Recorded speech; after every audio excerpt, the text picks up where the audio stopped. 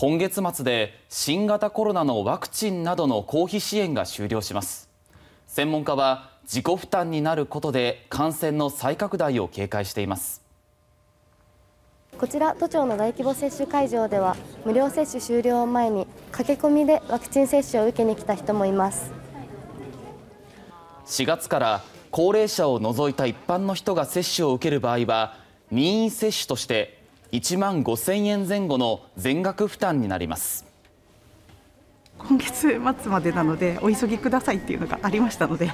予約なしだったんですけどすぐに受けられたので急いできました。専門家はワクチンが自己負担になることで接種率の低下が進み感染の再拡大につながる事態を警戒します